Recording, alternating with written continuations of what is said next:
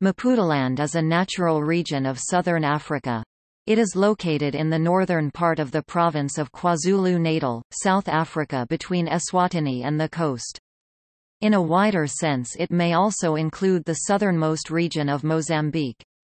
The bird routes and coral reefs off the coast are major tourist attractions.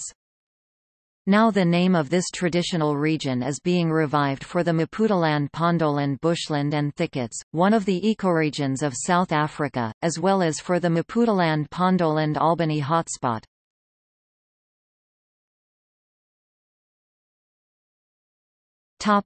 Geography Maputaland is bordered by the Ubombo Mountains in the west and the Indian Ocean in the east.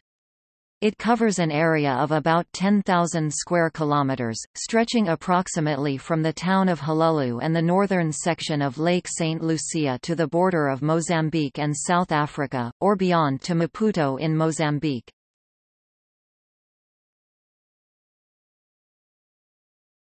Tongaland The South African section of Maputaland was also previously known as Tongaland after the Tonga people who live there. The usually flat region feeds the Phongolo and Machuz River.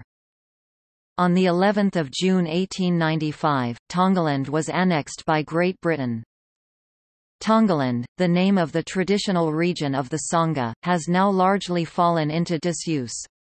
It is still occasionally found in scientific works though, as well as in the naming of species, such as the Tongaland cannibal snail Natalina wesseliana.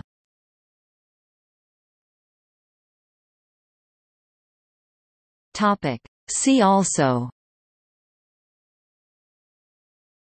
Maputaland Pondoland bushland and thickets Maputaland Pondoland Albany hotspot Sabayi